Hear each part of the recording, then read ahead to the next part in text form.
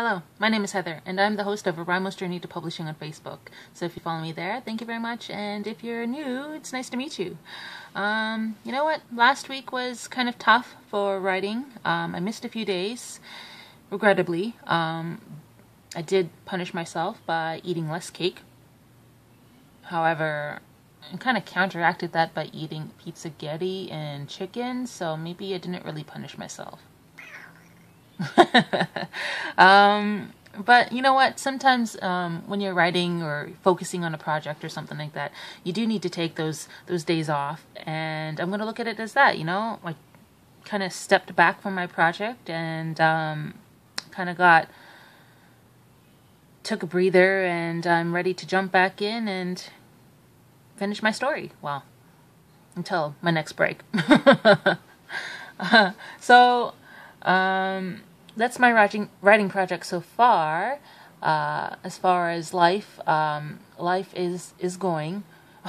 my baby is entering terrible twos, and it's it's exhausting me. I probably look pretty tired um, because of that. But um, I've got a new computer.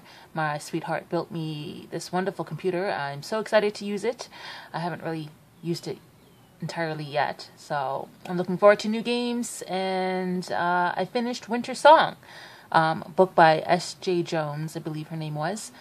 And it is an absolutely fantastic book. You should read it. It's a fantasy romance um, with a musical theme.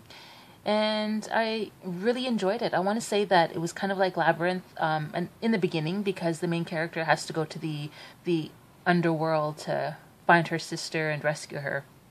And um, but that's about it. That's where the similarities are you know, yeah. That's where they stop. And then it just kind of grows from there. And it, I, I really enjoyed the book. You should read it.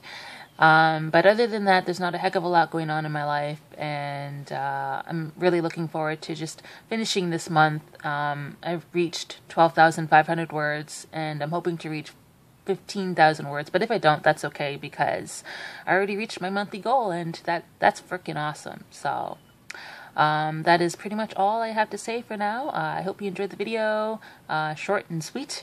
Um, I'll see you next time. Bye.